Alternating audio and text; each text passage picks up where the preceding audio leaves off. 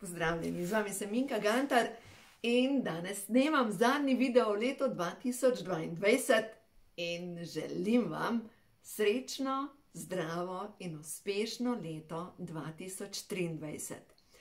Kaj nas čaka?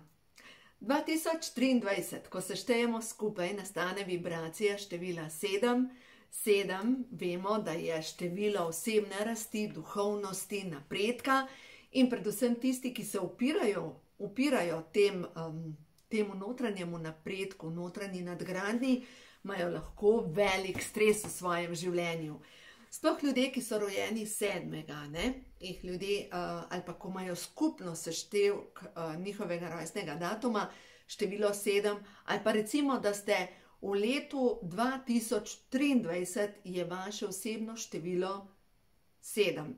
Zdaj vem, da se sprašujete, kako to razračunam. Recimo, če ste rojeni sedmega, prvega, um, katerokoli leto, prištejete zdaj 7 plus 1 plus 2023 in dobite vaše osebno leto.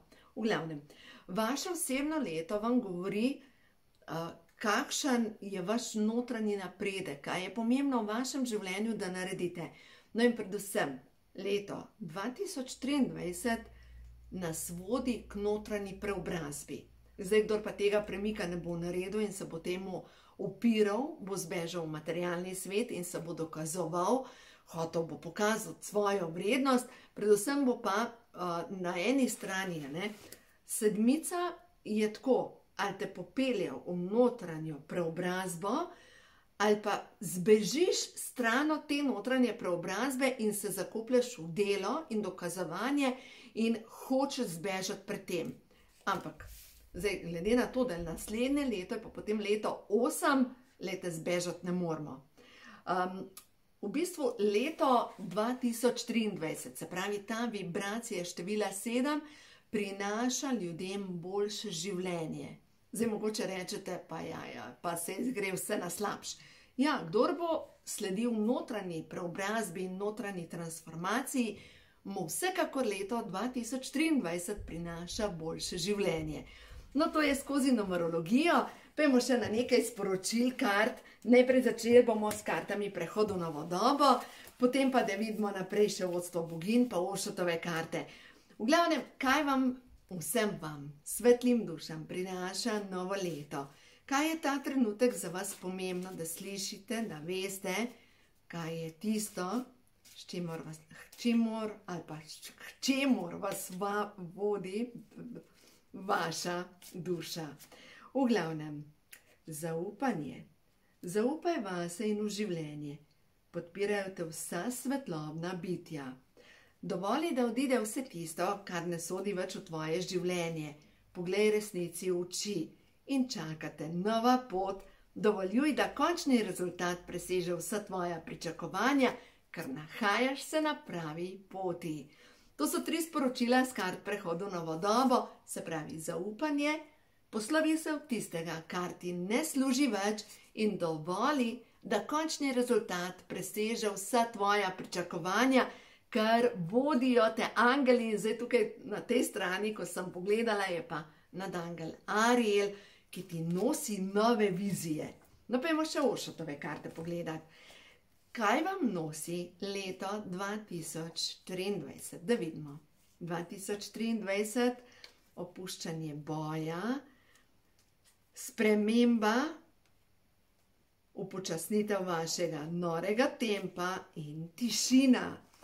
Prva je prišla tale, nehajte se boriti. Se pravi, tam, kjer imate zdaj še vedno v svojem življenju borbo, enostavno opustite to. To je prva stvar in enostavno rečete, jaz se ne grem več.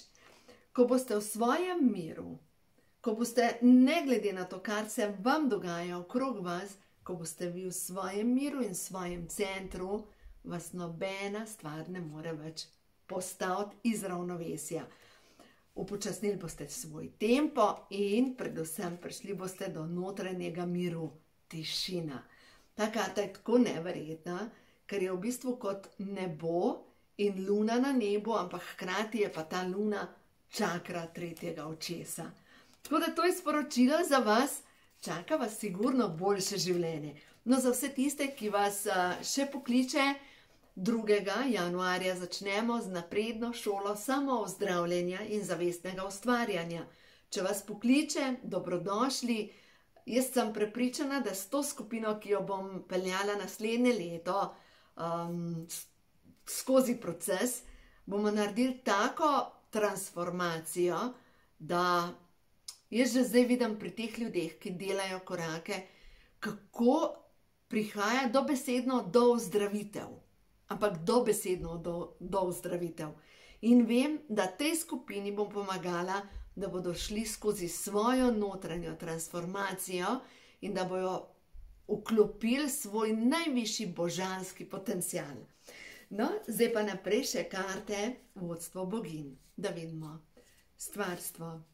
Katera boginja, hm, tri boginje, so tiste, ki nas bodo podpirale v letu 2023?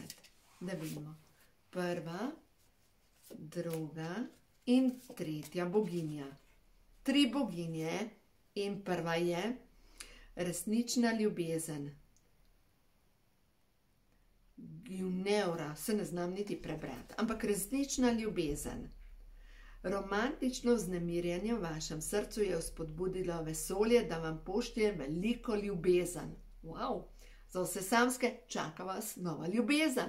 Za vse tiste, ki ste v odnosu, ljubezen bo ponovno vzplamtela. To je prva karta.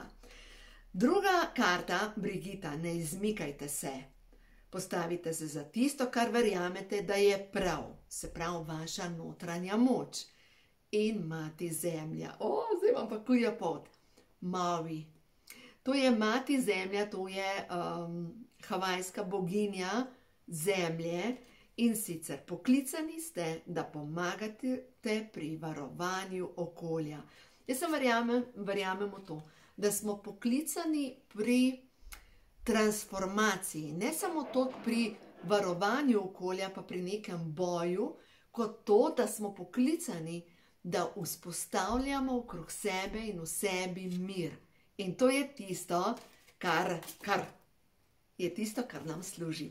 No, ja, vidite, to so tri sporočila, se pravi, zemlja nas podpira, ljubezen nas podpira in predvsem pojdite ven, predolgo ste že v zaprtem prostoru, pojdite ven in se nadihajte svežega zraka. Pojdite ven, to pomeni, čas je za delovanje. No, ja, jaz sem prepričana, da naslednje leto 2023 je čas notranjih, notranjega poganjanja korenin. Tako čutim. In ko bodo te korenine dovolj močne, boste šli ven in boste zasijali skozi svoje poslanstvo. Točno to čutim, da se pripravlja, pripravlja se nova zemlja.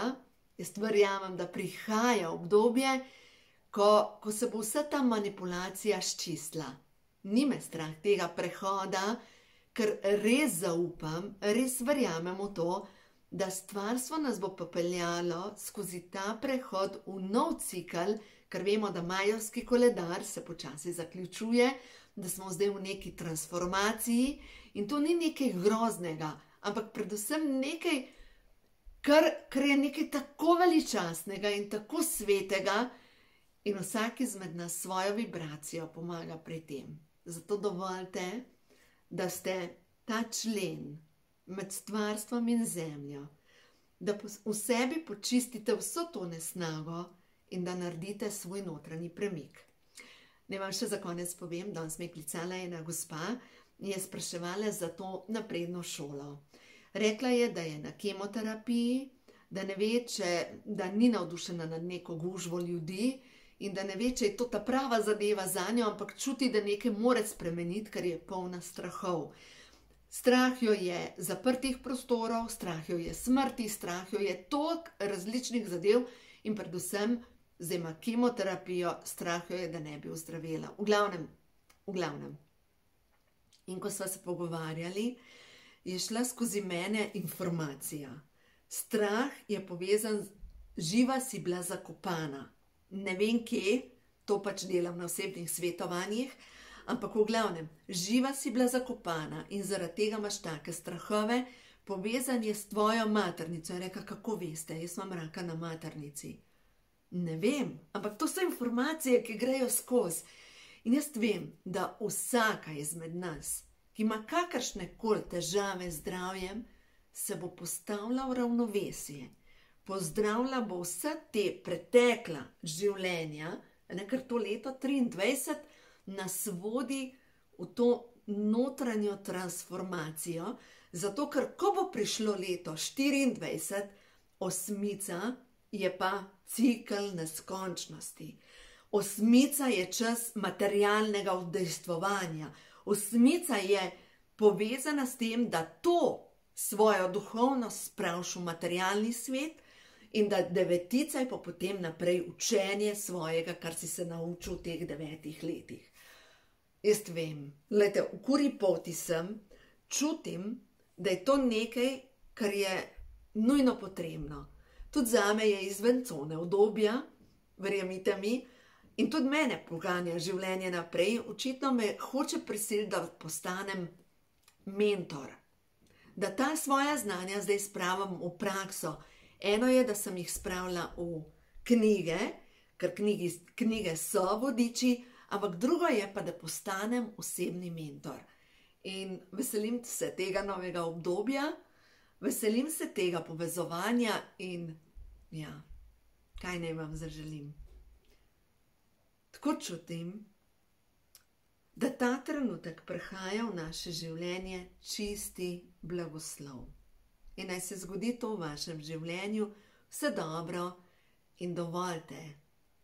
Ne se oklepati strahu, tam ste že bili, ampak sledite namigom, sporočilom, tistim prebliskom, ki jih imate, in to je za vas absolutno prava pot.